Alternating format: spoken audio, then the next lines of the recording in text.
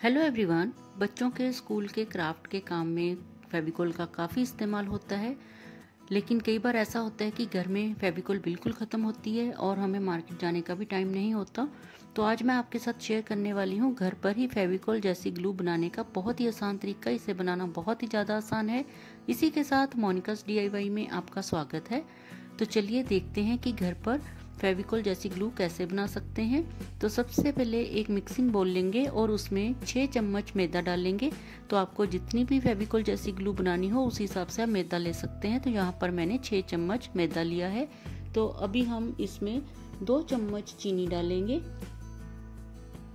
और इसे मिक्स कर लेंगे। और फिर हम इसमें पानी डालकर इसका पतला घोल तैयार करेंगे। इसे अच्छे से गोल लेंगे ताकि कोई भी लम्ब ना रहे।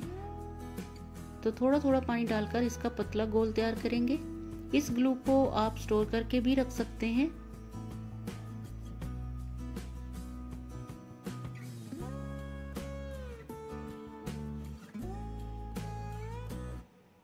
तो कुछ इस तरह से पतला गोल मैंने तैयार कर लिया है। तो अगर आप इसे स्टोर करके रखना चाहते हैं तो आप इसमें दो चम्मच सिरके के डाल दें। तो वाइट विनेगर मैंने इसमें दो चम्मच डाला है। तो कुछ इस तरह से घोल तैयार है। अभी हम इसे पकाएँगे। तो एक पैन लेंगे और उसमें इस घोल को डाल देंगे। तो गैस को मैंने स्लो रखा है। तो अभी लगातार चलाते हुए हम इसे पकाएँगे। थोड़ा सा गाढ़ा होने देंगे। तो लगातार चलाना बहुत ज़रूरी है ताकि इसमें कोई भी लम्ब्स ना पड़े। एकदम स्मूथ हमें पेस्ट चाहिए। तो अभी इसको इतना गाढ़ा होने के बाद हम गैस से उतार लेंगे और इसे पूरी तरह से ठंडा होने देंगे।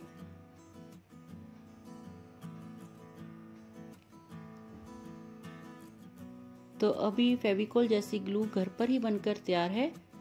इसे पूरी तरह से ठंडा होने पर हम किसी कंटेनर में डालकर इसे फ्रिज में रखकर स्टोर कर सकते हैं।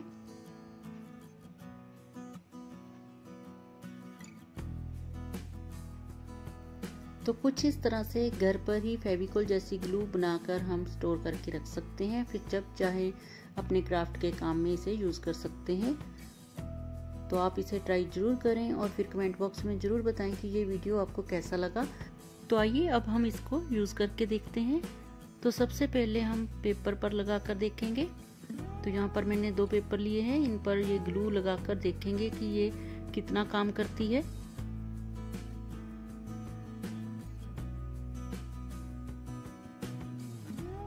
तो इसे थोड़ी देर के लिए सूखने के लिए रख देंगे।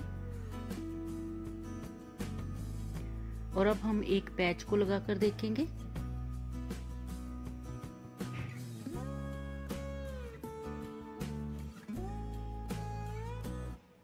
तो इसे भी थोड़ी देर के लिए सूखने के लिए रख देंगे।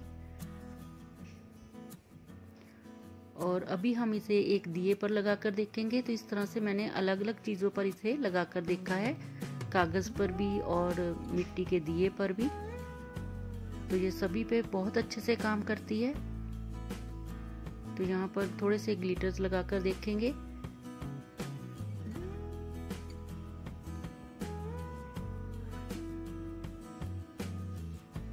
तो इस तरह से आप घर पर फेविकोल जैसी ग्लू बना सकते हैं बहुत ही आसान तरीके से। तो अगली बार जब भी आपके घर में ग्लू ख़त्म हो और आपको मार्केट जाने का टाइम ना हो तो आप इसे ट्राई ज़रूर करें। आपको ये वीडियो कैसा लगा कमेंट बॉक्स में ज़रूर बताएँ। अगर आपको ये वीडियो अच्छा लगा हो, यूज़फुल लगा हो तो इस वीडियो को लाइक और शेयर ज़रूर करें। और साथ ही ऐसे और भी यूज़फुल वीडियोस देखने के लिए मोनिकास डी को सब्सक्राइब ज़रूर करें। Thank you for watching my video मिलती हूँ एक और नए वीडियो के साथ।